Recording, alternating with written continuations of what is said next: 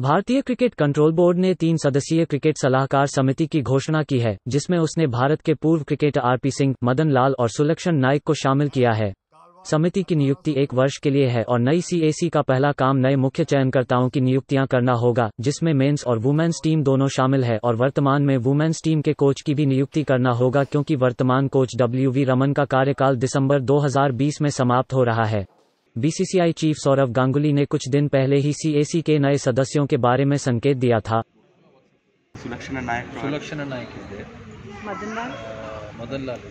the other. Gautam is not.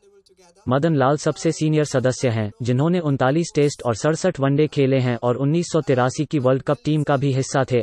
RP Singh team में सबसे कम उम्र के हैं, जिन्होंने 14 टेस्ट, अट्ठावन वनडे और 10 टी ट्वेंटी खेले हैं और वो 2007 T twenty world cup team का भी हिस्सा थे।